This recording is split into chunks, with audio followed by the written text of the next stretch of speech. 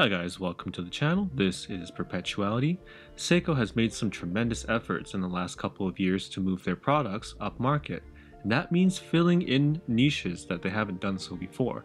We see this here with the Sharp Edge GMT, new for 2021. This is the Aitetsu dial that is one of many different color variants released this year. Now, this watch is kind of special because Seiko has historically not given us North America, that is, a GMT automatic movement watch.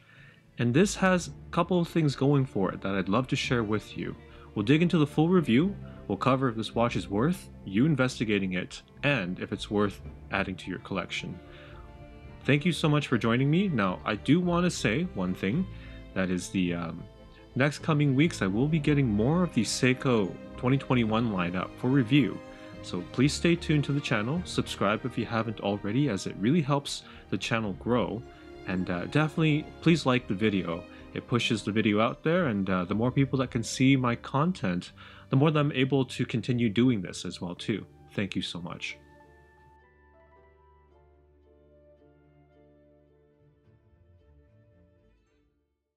Now what's the heart of this watch? It's none other than the Caliber 6R64.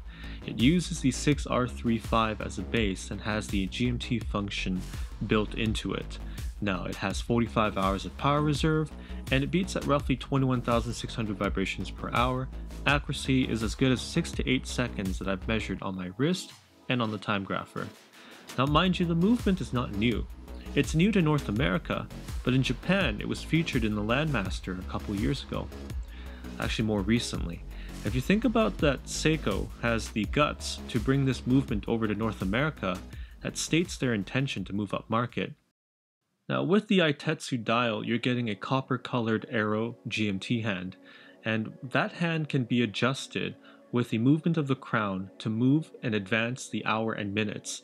But the interesting part is you can actually pull out the crown one step out and jump the hour.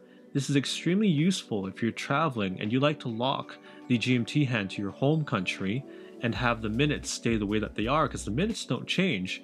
The hours do when you're trying to move from time zone to time zone. So I feel like Seiko has had the foresight to include this. This makes it almost like a budget Rolex GMT Master in a way, as this function is exactly as you see on the GMT Master.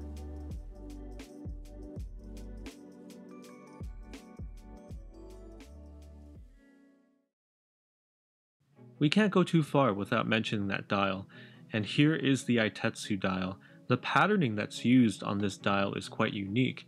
It is actually, in Japan, deemed to be the hemp leaf pattern that was used or familiar in Japanese culture for its use in the Heian period over a thousand years ago. The fibers of the leaf or the plant were traditionally used to stamp out and leave a pattern on clothing and decorative items.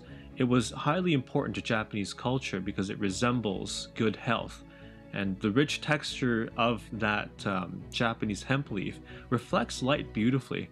As you see here, there's depth and clarity to this dial that's unmatched for the money.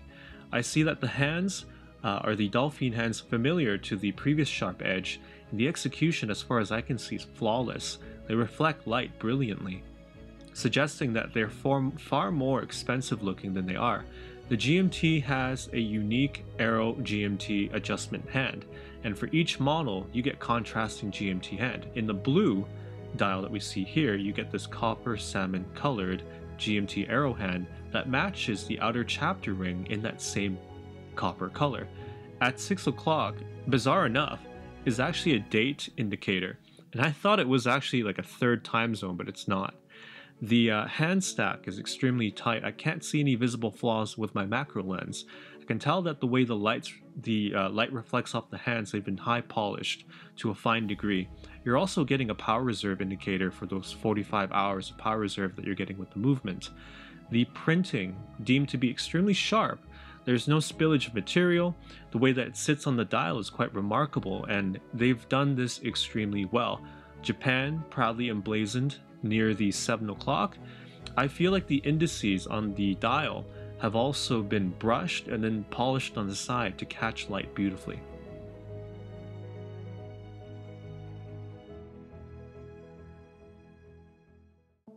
I won't bore you guys with the stats, I'll leave the numbers here for the measurements of the watch. Just know that it is 42.2 millimeters wide and the way that it sits on the wrist is about 49 millimeters long.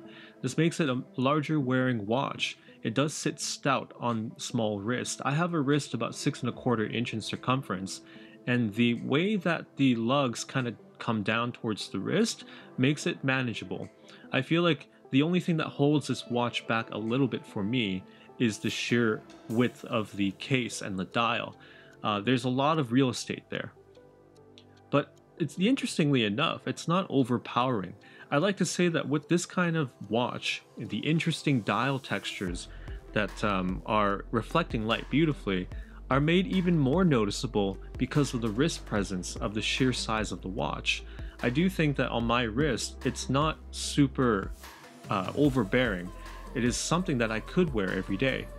Interestingly enough, it is mostly uh, high polished and brush finishing. So high polish is on the side flank of the case, and I don't believe it's Zaratsu polishing. It is coated with Seiko's proprietary Diashield hardened coating to resist scratches. And under bright lighting conditions, the coating takes on a brown hue on the steel. Something to note, the overall thickness of the case is something that is kind of a letdown for me. Being closer to 15 millimeters thick, I'll correct myself if I'm wrong here, it does sit on the wrist a little bit tall. The saving grace is those lugs that come down do provide comfort. Now, the other thing to note is you're not getting a screw down crown with this particular watch. Although you're getting about 100 meters of water resistance, it's I wish that Seiko had included a screw down crown for this particular watch. It would just elevate that everyday wearing status of this watch even further. Although the crown does not have threads for it to be screwed in, it is actually a beautiful crown. Bead blasted in deep relief and signed with the Seiko S logo, it is also appropriately sized to get a good purchase on. Feel like Seiko has done well in this area, the crown is beautiful. The finishing of the case is remarkable, with that brushed finishing at the top of the lugs dropping off extremely sharp to the edge of the case. It's almost like a katana in this way. It's very beautiful, reminiscent to me of Grand Seiko, actually. The finishing carries on to the bracelet, and as you can see, it's done extremely well, reflecting light beautifully. The bracelet features a double locking mechanism for the clasp and is reassuring um, the overall bracelet execution is interesting. It's a three-piece link with uh, double polished miniature sections at the center.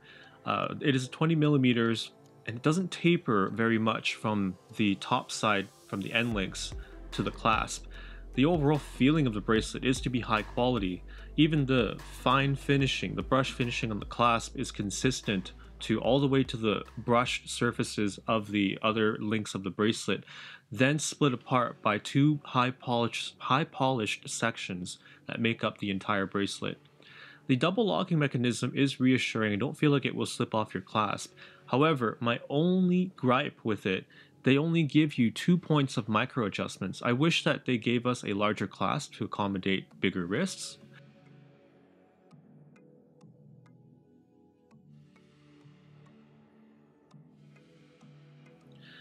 I think that the overall value of this watch is tremendous.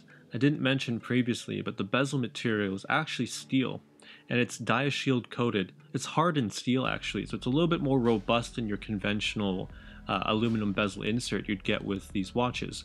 Mind you, I feel like the overall execution of the numerals on the bezel are a fair size, they're legible, and they look quite handsome.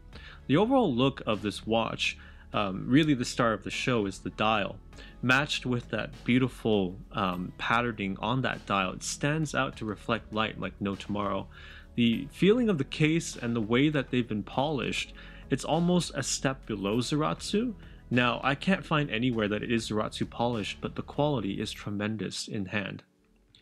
You are really paying for the movement, however, and at right around $1,700 Canadian is the price of this watch. It's not inexpensive. Now, keep in mind that most dual time GMT, true GMT watches that have a jump hour adjustment are usually twice the price, if not a little bit more. One example is the Omega Aquaterra, which does have that um, beautiful coaxial movement and that jump hour mechanism that makes it extremely useful. I feel like Seiko has done well and punched above its weight with this watch. The only things that hold it back for me are the sheer width of the watch and the thickness. I feel like Seiko could have done better to miniaturize the case. I'm going to show you the lume, and I will have to say that the Seiko LumiBrite proprietary lume that they use here, it's good, it's bright, but the longevity is not there. I've had this um, lit up with my torch, and basically, I feel like the amount of LumiBrite that's been applied is not enough on the dial and hands for it to last a long enough time for it to be useful. That was just my experience, but your mileage may vary when you check out this watch. Thank you so much for watching, and if you liked the video today, please consider liking the video. I'd like to hear from you guys what you think are good GMT watches for under $2,000. Sound off in the comments, and I'll definitely catch you in the next one.